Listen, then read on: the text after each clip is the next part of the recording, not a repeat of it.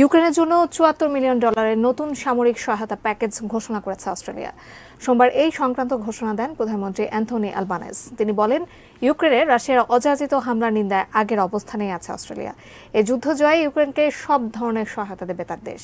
এ বিষয়ে প্রতিরক্ষা মন্ত্রী রিচার্ড মার্লেস বলেন, ইউক্রেনকে এই অতিরিক্ত সামরিক সহায়তা দিতে পেরে গর্বিত তিনি। যতদিন দরকার, ততদিন পর্যন্ত ইউক্রেনের পাশে আছে অস্ট্রেলিয়া। তবে ইউক্রেনের চাহিদা মতো হালকা সাজোয়া যান কিংবা পদাতিক বাহিনীর বুশ মাস্টার গাড়ি নেই এই প্যাকেজে। এগারো মাস আগে ইউক্রেনের প্রেসিডেন্ট ভলোদিমির জেলেনস্কির সঙ্গে এক যৌথ সংবাদ সম্মেলনে ইউক্রেনকে সব মিলিয়ে তিনশো নব্বই মিলিয়ন ডলারের সামরিক সহায়তা ঘোষণা দিয়েছিলেন অস্ট্রেলিয়ার প্রধানমন্ত্রী অ্যান্থনি আলবানেস।